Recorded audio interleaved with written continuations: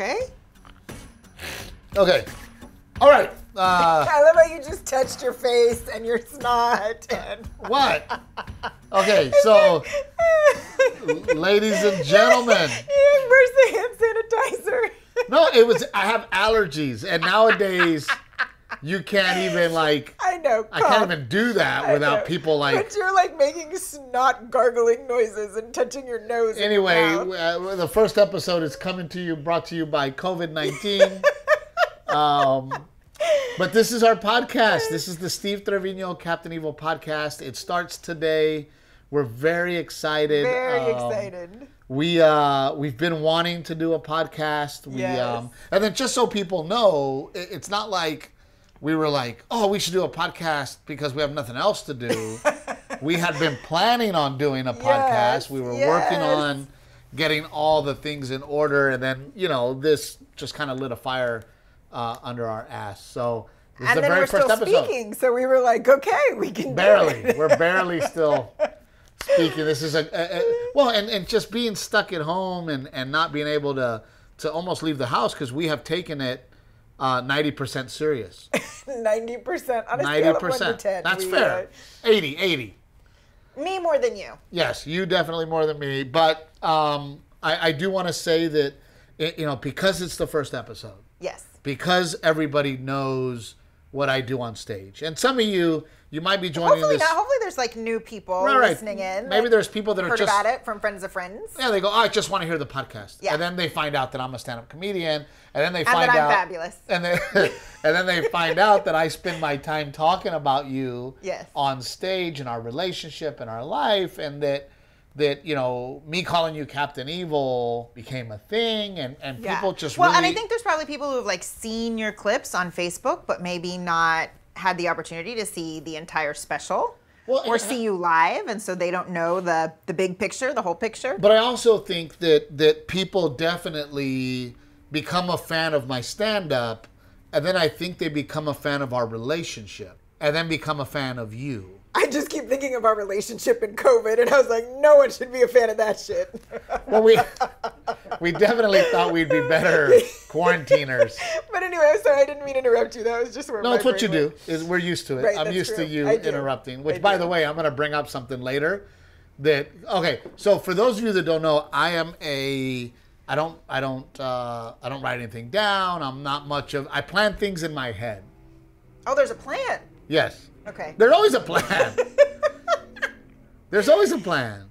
And and for you, you're more of a post-it note, write things down. Diagram out the chart of the plan. Yeah, you want to like you spin out. So anyway, uh, in my head, I have planned a, a little something to talk about later because you know uh, during the quarantine we decided to do uh, pardon the bitching. Are we live? No technical difficulties. but oh, dude, look in front of my face is where all the comments are. And we had a lot of fun doing it. It was fun. And every week we'd like, oh man, do I have something to bitch about? And then somehow We always find we always things. found it. Um, so for those of you that are that are joining the podcast and, and you're meeting um, Renae, you know a lot of people's. Oh you know, yeah, my name. it's- Let's actually use my real It's name. funny because on stage sometimes I, you know I'll be like, hey, any questions? And then somebody like one person be like, what is your wife's name? and I'm like, uh, Captain Evil, and they're like, no, like what's her name? And Renae. So. Uh, for those of you that are meeting Renae for the first time and, and you're, you're coming to this podcast, Before Steve met me, my name was Renae.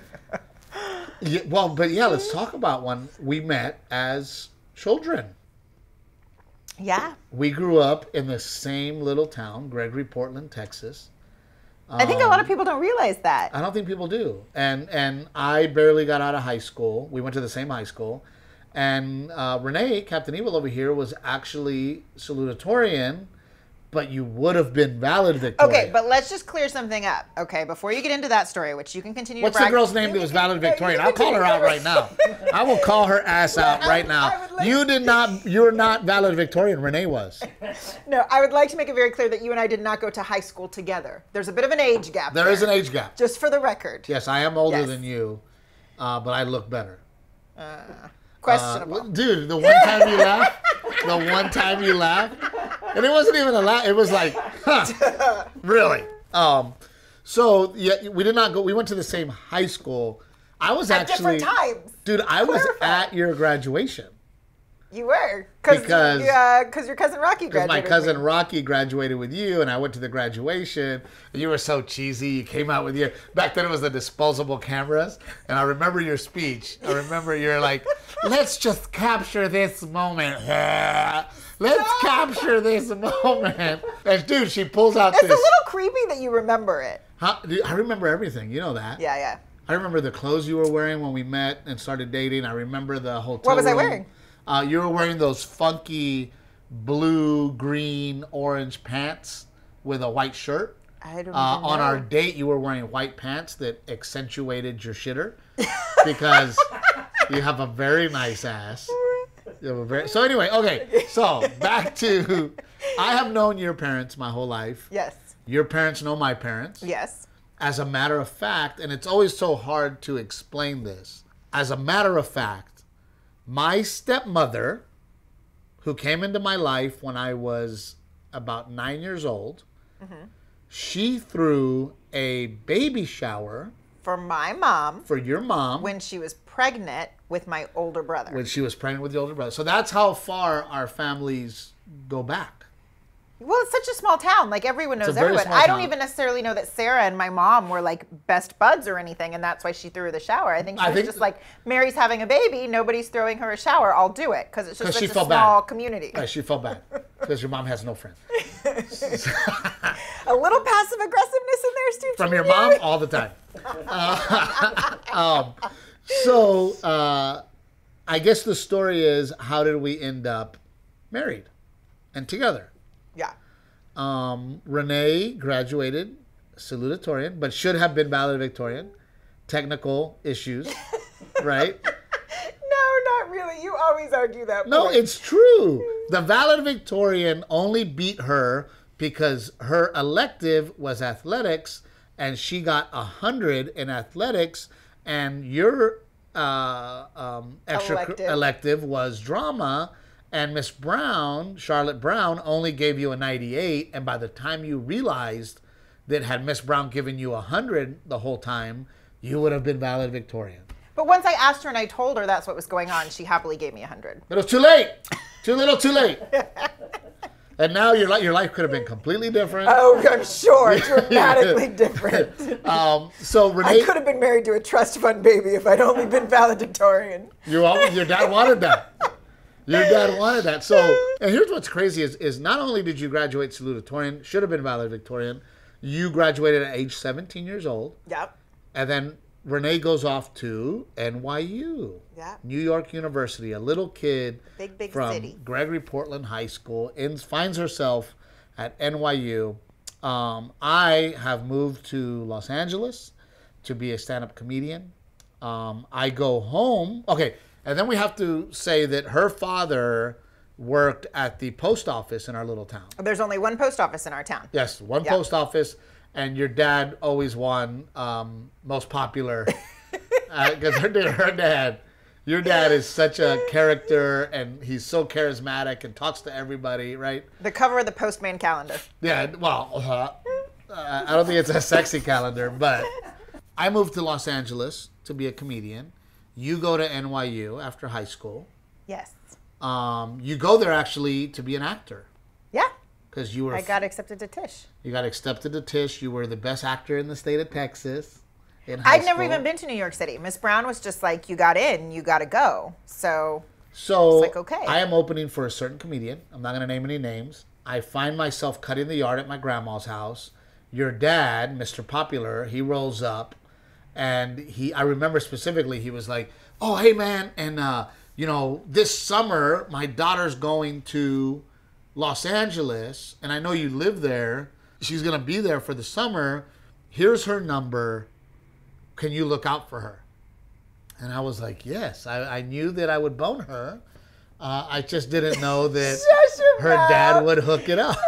shush your mouth. No, I was going out there. I was like sharing a futon with one of my gay friends who was out there for the summer. And my dad was like, what's going to happen if you get a flat tire? Yeah, because according to your dad, gay men cannot change tires, Right, right? Uh, right. Oh, he's gay. He doesn't know how to change a tire. Well, maybe they do, Raymond. Maybe gay men are men too. like, you know what I mean? I mean, if he was a lesbian, he'd be like, "Oh, she Yeah, right, good. she's- Renae's she's good. it." then he'd be concerned for different reasons. Right. So he gives me your number, and I call you, and we end up hanging out. And uh, I remember thinking, "Wow, this girl is absolutely beautiful." And uh, I made you give me a ride. well, to- you called me because you were going to hook me up with a friend of yours. You had like a friend and a boy, but no, you never intended it to hook me bullshit. up with him. It Oh. I thought that's what you're like. Come out! I have someone I want you to meet. That's what you told me. You were and then I was like, and then to I'm gonna meet." impress you, okay, with my mass, my massive arms and my charm. Uh, so you come out and, and we hang out that night, and then I remember you were staying with, um, you were you're sharing a futon. I had found out, Yeah. and I said, well, I'm going on the road for the week. Instead of staying on the futon, why don't you stay in my apartment? Yes, So you stay in the apartment. I, I was Chicago. the I- Bat Cave. I went to Chicago. I come back. My clothes are cleaned. The house, the apartment is clean. Was it? Yes, don't know about my that. bed is made. And I'm like, oh my God, this is the girl for me. and that's the last time you've ever done that shit. Well, my mom said I should do something nice in return. She was talking about a blowjob. No, right? Oh, She wasn't saying clean No. up. She was like, hey, hook him up. Do something nice for the guy. holy shit! So my anyway- mom's not listening. My poor mother. Your mom won't figure out how to how to download a podcast. Um, so anyway, and then um, we spend the summer pretty much every day together. You have to go to back to NYU. However, you tell me because now we're doing kind of a long distance thing, and you're like, I didn't want to go back. You were the one who convinced me to go and finish. you had to finish That's what you said. You because said, nobody in your family has a degree from a four-year university. had at the time. At that, you Yeah. do now. Yeah. Okay, so you go back, uh, and we're kind of having this long distance thing, and then you're like, don't tell people from back home that we're dating. Well, because I didn't know if it was going to stick. I didn't know how long it was going to work out once you went back to your normal life on the road and I went back to school. And I agree. I mean, I, there was a chance I could still meet someone with a trust fund at NYU. So I There's wanted- a big I chance. wanted to keep my options open. um, why are you laughing so hard?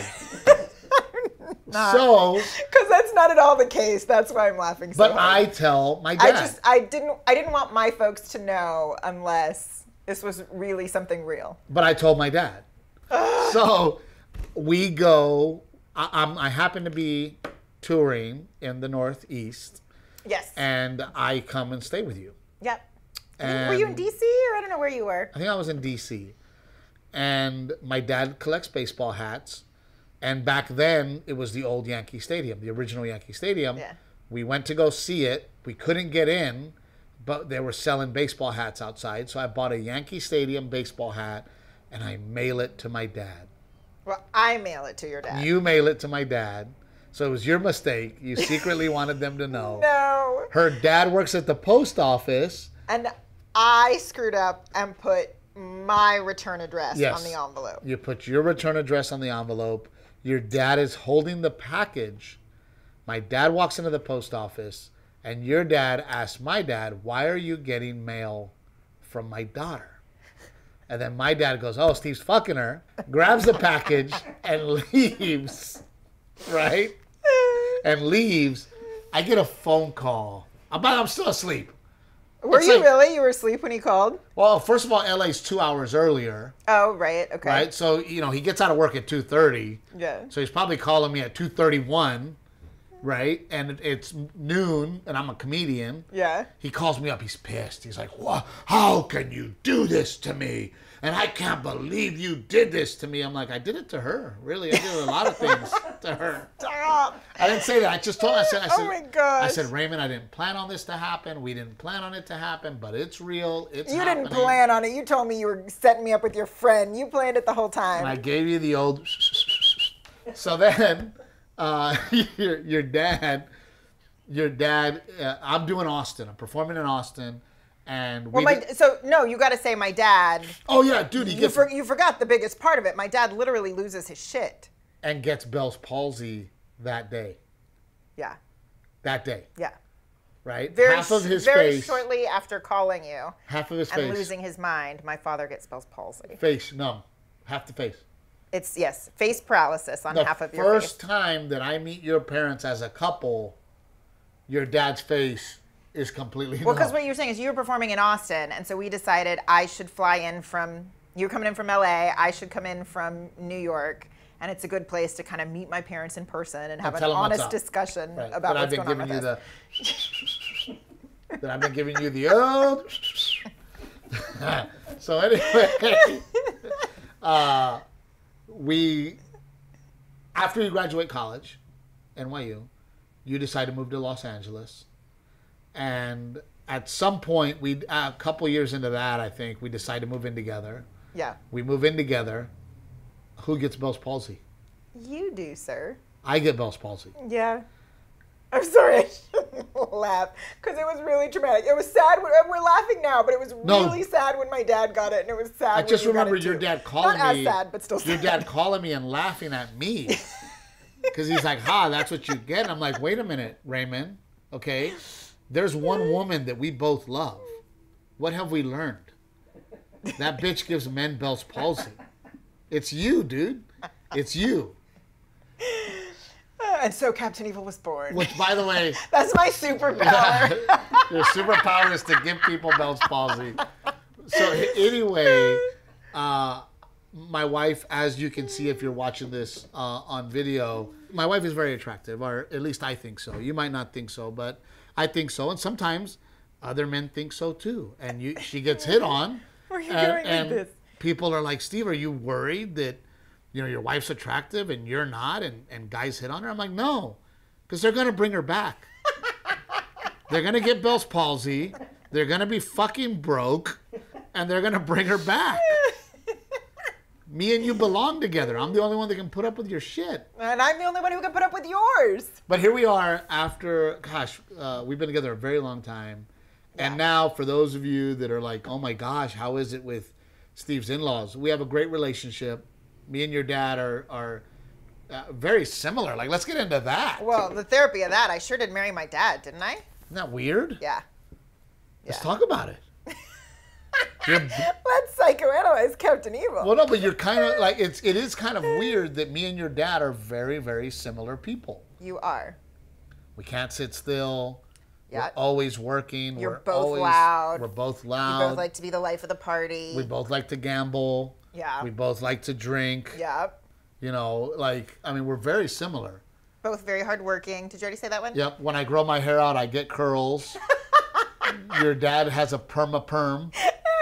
Definitely has a perm, dude. He has like the, like the, uh, the, you know, like when you wear the hat and the per, the mullet just comes out the back. That's our Which dad. is so weird that our son Right. didn't come out with curly hair. Like I totally thought he that is weird. Yeah, because your dad has curly, curly hair. hair. I have you curly do. hair. You kind of have. I do have you wavy know, hair. I do like your hair when you leave it curly. uh, curly. So that that is kind of the story of us. Well, you know, and, and in the beginning, in the in the beginning, you know, when I started talking about you on stage, your parents were not that into it. Well, no, because you would do a joke about us having sex and the dog throwing up in the corner of the room. Like, I still love that mom joke. And, what mom and dad I wants still- to hear that story? I still love that joke. Good joke. I miss our dog.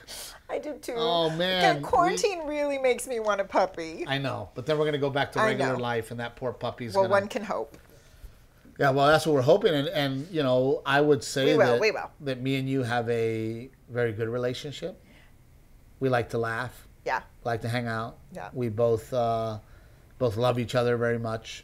Uh, we both love being Garrett's parents, uh, but quarantine has been freaking rough. Yeah. I just think it's the it's the um, It's just the- it's, start, it's starting to feel like Groundhog Day. Like Well, legit it- Groundhog right, Day. and it's the disruption in something that we were very used to. I mean, for those of you that don't know, I, I've never since I was 18 years old, I've been doing stand-up comedy. I started stand-up comedy. I moved to Dallas, Texas, when I was uh, uh, 19 years old to pursue my career in stand-up. And by the time I was 20 or 21, I was on the road full time. So now, 20 years of my life I have been on the road almost every single weekend because I am a workaholic. Yeah. Almost every single weekend for the past 20 years. And then it wasn't like me and you met and then I started going on the road. It's always been The dynamic of our relationship. Right. Yeah, yeah, yeah, yeah. You How we how we function. we do travel a lot together as a family and we function well when we're traveling as a family. Yeah. Um, we have our routines, right? Yeah. You know that um, usually Saturday morning I need to sleep to at least nine, Yeah. right? And then you go do you know whatever morning activity with. You're just a grump when you're not on the road. I know, dude, and and it's it's it's me learning that me being on stage is such a big part of my life, uh, psychologically. Yeah. Like psychologically, I need. Let's psychoanalyze you. You need the audience. I do. I you need, need, the, the, audience. applause and the laughter. I need. What, I don't know what it is. I, I don't know if it's the applause and the laughter, or is it my ability to go on stage and and and bitch about us, so it's marital therapy no, our, our talk unfucking interrupted. Where I get to talk, that, where I get to talk, and I'm not interrupted by There's Captain Evil, or a lot of that. you know, if I go in a certain direction, there's nobody going, "Hey, change that story, say it like no this." to call your bullshit. Right. I can do what I want, and then it's it's my own. I I love doing stand up, and I never got into stand up for fame and fortune. I've been doing stand up since I was a, a child. Second grade talent show. I'm on stage. I love being a stand up comedian Yeah.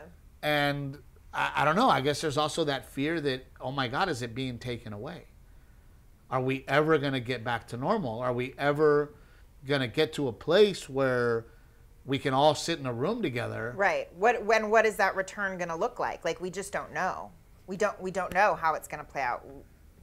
We don't.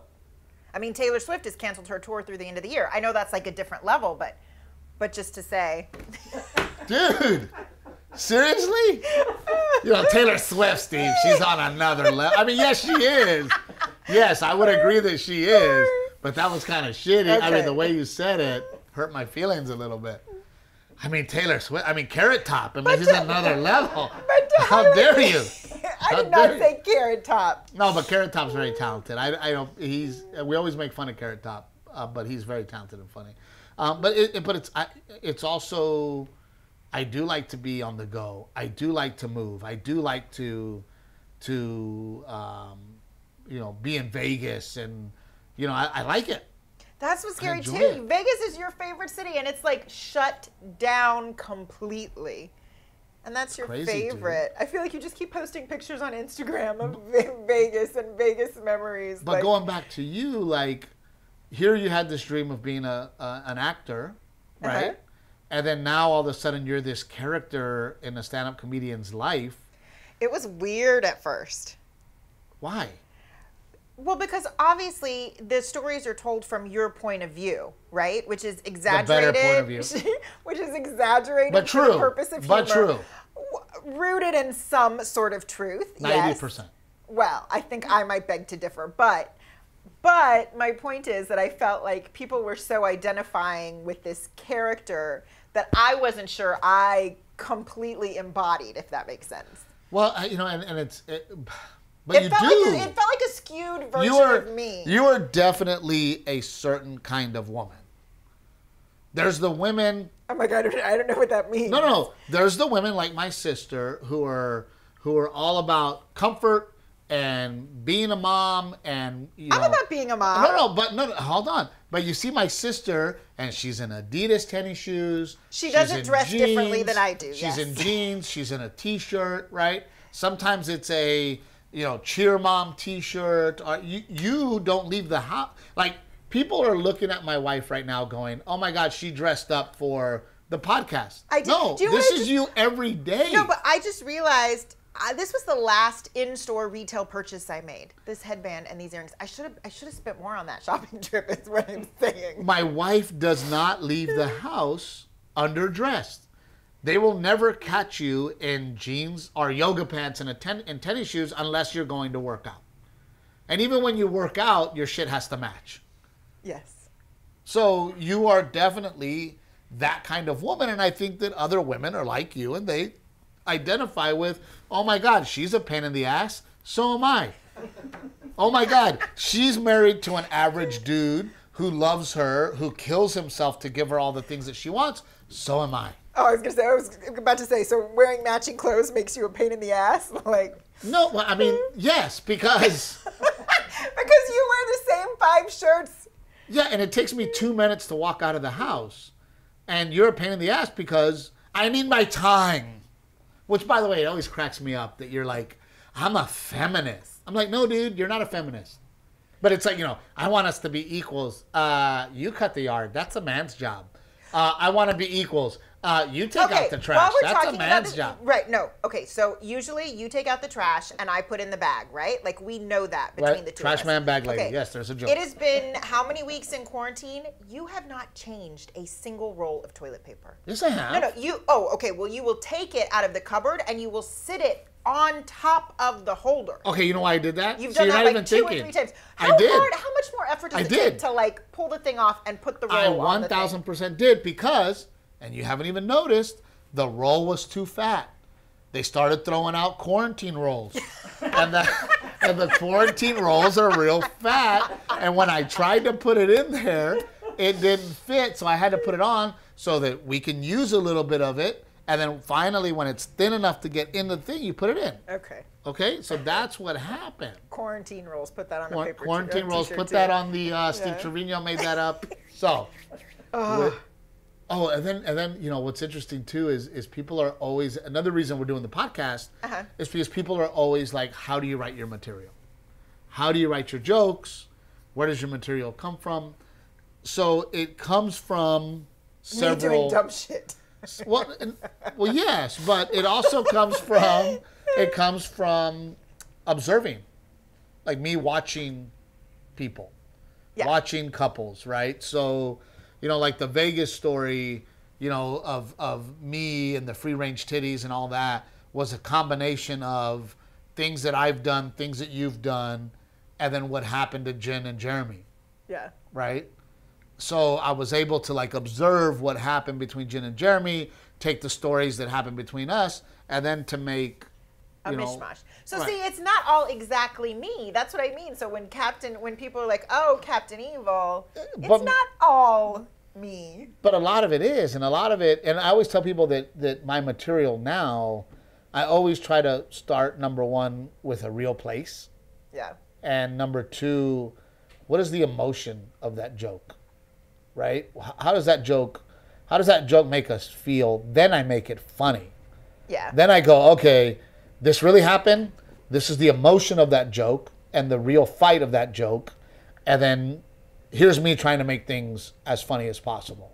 yeah. Right? However, I mean, look, I, I uh, and I think it's gotten more specific in, in the course of our relationship together. so too. like for example, you know, this weekend we had um, family members over for um, uh, just to hang out, right, briefly, and and my cousin Abel Have comes, dinner. right, have dinner. My cousin Abel comes to hang out, and by the way, I was like so happy. You know, here we are, two months into quarantine. I'm like, fuck, I haven't written a joke. And people are like, "Oh, you're gonna have so many jokes about the quarantine." I'm like, "No, we don't do shit. Nothing's happening. It's the same day every fucking day." So Abel and Gloria come over, and they have a 14 month old little girl, beautiful little girl. so cute. And um, Abel is sitting down, and me and Abel, and Abel likes to talk politics. So Abel's talking politics with me, and I know. I went into the hospital and said, "Uh oh, they're talking yeah, politics." A- Abel, Like, Abel's done. real, real uh, uh, politic guy. So, but I don't mind chatting up with him because he's very intelligent and and uh, he's interesting to talk to. However, uh, the 14 month old has just started to walk, so She's she, all over the place. She is at the point where, and I think a lot of parents are like, I just want my baby to start walking, and then your baby starts walking, you're like, oh my god, it doesn't sit down, right? It doesn't sit yeah, down. it doesn't sit down. He or she doesn't sit down. So uh, little Camila is like walking around, and Gloria is her shadow. Gloria's behind her. Um, me and Abel are having a, a, a drink and talking politics, and then Abel goes, uh, "Hey Gloria, uh, you want me to help you? And then she goes, no, I'm fine, right? And he's like, okay. 30 minutes goes by, we're another drink in, and, sh- and Abel again. Uh, now we're eating. Now the food's been served, and Abel goes, hey, I've already eaten. Do you want to sit down and eat? And I'll take Camila. And then she goes, no, right? And then uh, at the end of it all, I told Gloria, I said, Gloria, I said, uh, we haven't talked in forever. I would have loved for us to have a conversation. I wish, you know, you were chasing your baby around. She goes, yeah, because Abel doesn't do shit. I don't think she said then- it like that. and then I'm Gloria like- does not sound like that for the record. And well, she didn't say shit, but she was like, "Well, I've done it. I, you know, I've been following Camila around. Abel doesn't do anything." And I'm like, "Bitch, he offered. I heard him offer twice. So from that, Did he set his drink down? there was nothing. Did nothing. he get hold his on. butt up off the chair and volunteer to help? There was Did he go make his wife a plate of food? There was nothing funny about that in the moment. However, I'm gonna write a joke because you're the same way. because I realized that how many times are you like, you're gonna clean the kitchen? And I'm like, yeah, I'm gonna clean the kitchen. And then you're like, you know what? I'll just do it. And then you do it. And then later that night, you're upset with me. And I'm like, wait a minute, why are you upset? Well, because I had to clean the kitchen.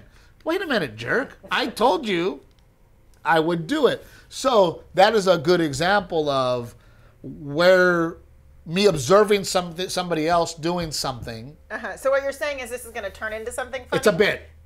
Yes, it's going to be a great bit that I was able to grab onto. Then later that night, what happens? So I don't know what happened. we like to play a game called Farkle. And if you don't know the game, it's a, you know, we sit around, we, we hang out with other couples, we drink. It's a very mindless, easy game. Six dice. That's Six dice, and it's called Farkle. And um, another friend of ours, Punch and Kiki, were there with their kid, Jack. And Jack goes, I want to play. So then I go, I'm going to it. Now I know what explain. I'm going to explain to you how the game works. I start explaining the game, okay?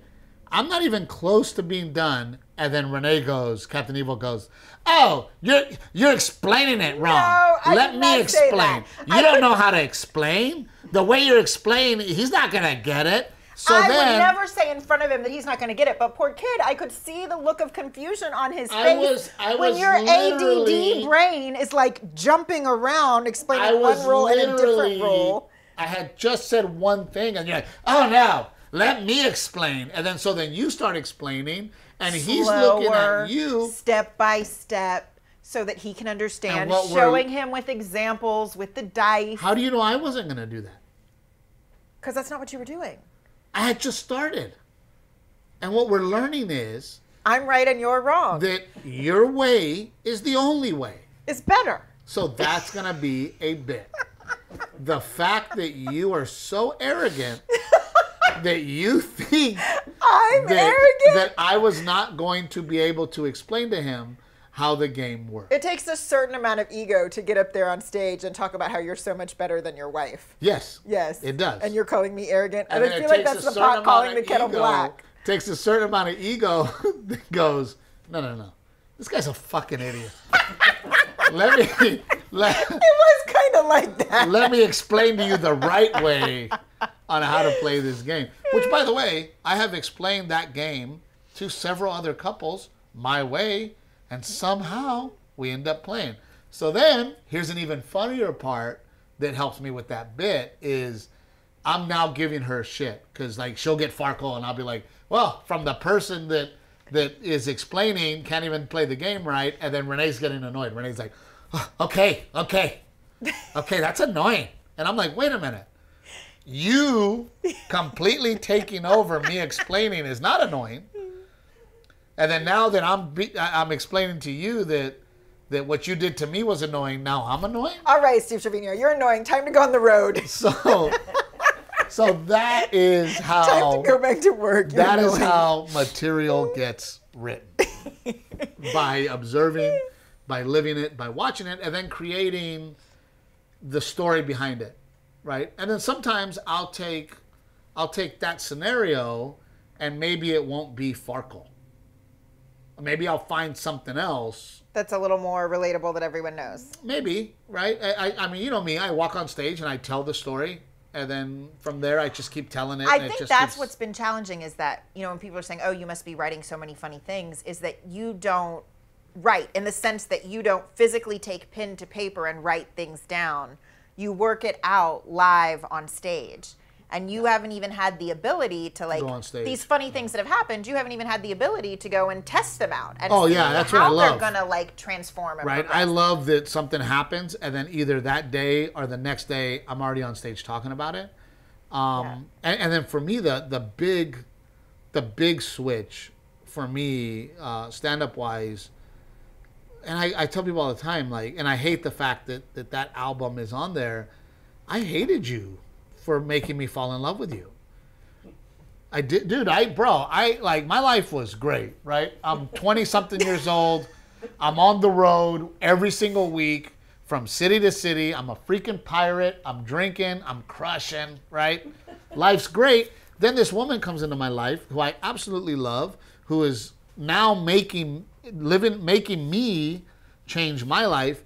And my stand up was angry and it was mad and it was, I hated you for it. and I hated that I was making this transition from single guy into this guy that I thought I didn't want to be.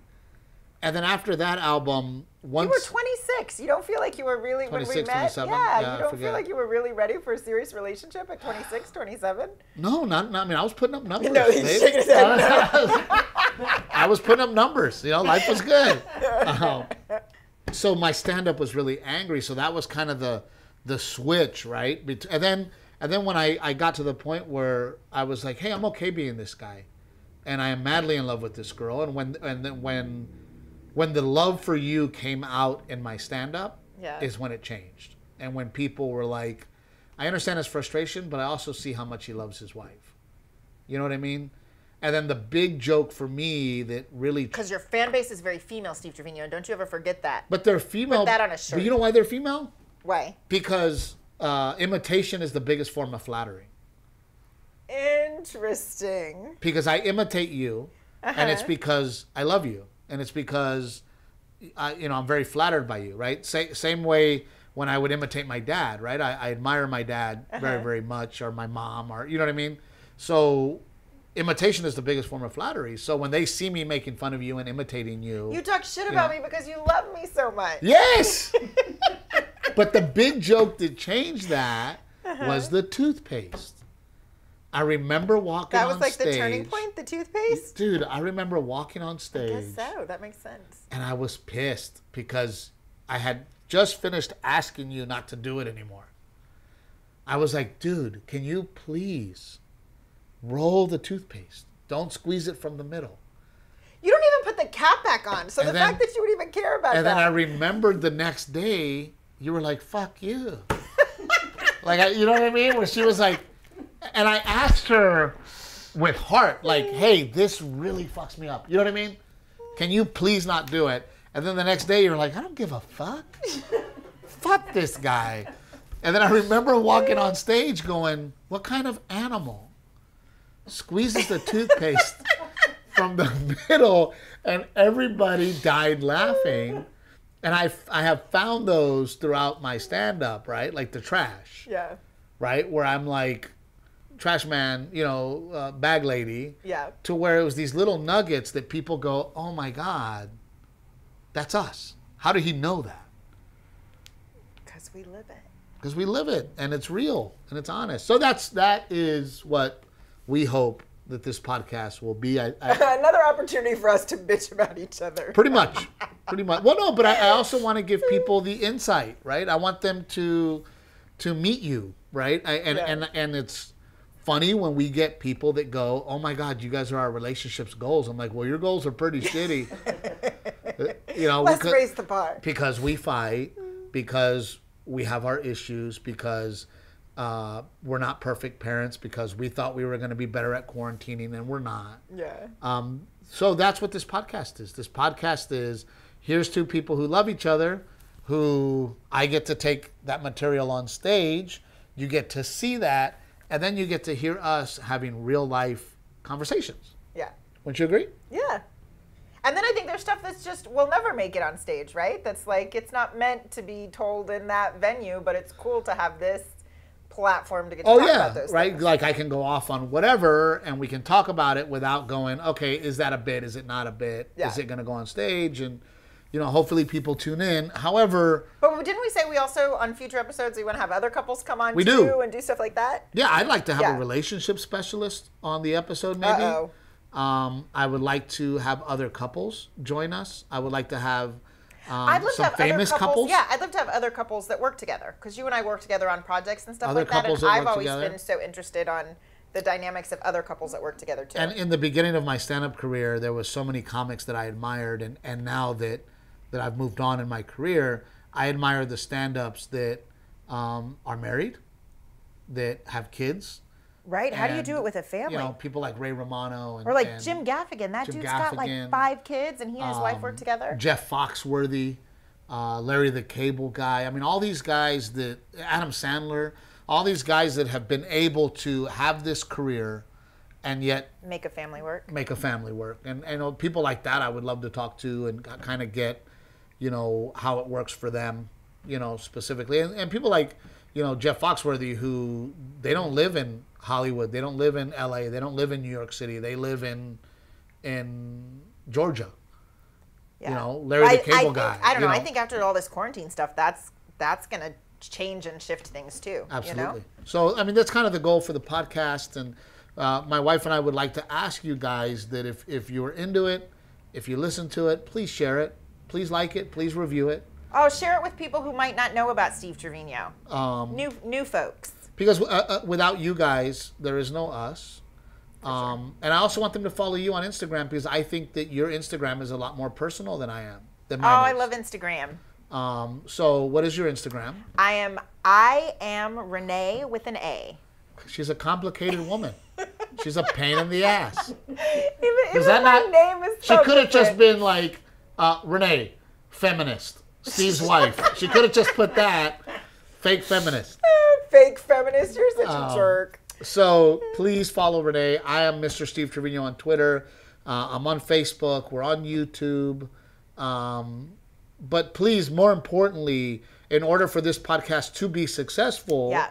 People uh, gotta listen. You gotta listen. You gotta share it. You gotta tell people about it. You gotta review it, uh, and then send us topics. We'd also like to set up a situation where we do it. We let you know that we're doing it. Yeah. And then you guys call in with your questions or Kind of like your- Pardon the Bitching. People Kinda like suggestions yeah. for when we did Pardon the Bitching. So um, that is our first episode. We we hope you enjoyed it, um, and forgive us if if it's not always funny. Sometimes it's personal, right? Yeah. And, yeah, yeah. um, so we love you guys. Uh, this is Steve Trevino on the Captain Evil podcast. We will see you next week. First episode out.